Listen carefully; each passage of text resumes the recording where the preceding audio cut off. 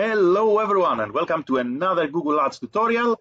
Today I'm going to show you how to remove your credit card from a Google Ads account. It's extremely easy. So all you have to do is to follow my steps. Step number one, you log into Google Ads. Step number two, you navigate on the left hand side under billing and then you select payment methods. Once you come here to payment methods, you're going to see the credit cards that are attached to this Google Ads account and all you'll have to do is to say remove.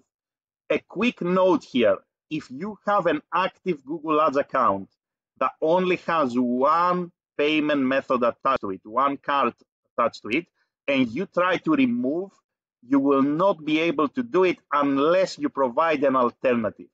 So I will not be able to remove this credit card here unless I am going to replace it with a new one, right? So you can only remove a payment method, a credit or debit card, if you are going to replace it with a new one, or if you have two credit cards and then you want to remove one of them.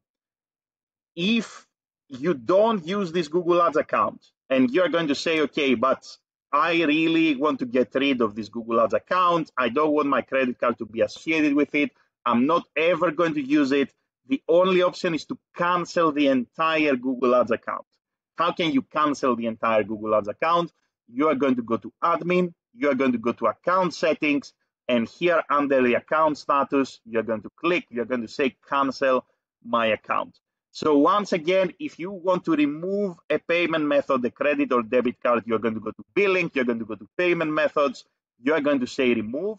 But every Google Ads account should have at least one credit or debit card attached to it. So you cannot remove a credit card and leave a Google Ads account with no payment method attached to it, right? So either you're going to replace it or you already have a backup card that is going to become primary. And if you say that I really want to get rid of this account, then the only option is to go to admin, account settings, and you can cancel the entire Google Ads account here, right? So long story short, payment methods, you find your credit or debit card, you say remove, you replace it, or you already have a backup and then it becomes primary. If you are not going to use this Google Ads account, you want to completely get rid of it, you go to admin, you go to the status, you cancel the entire account, and that's it. Let me know if you have any questions in the comments below. Thank you very much for watching and have a great day in any time zone. Bye, everyone.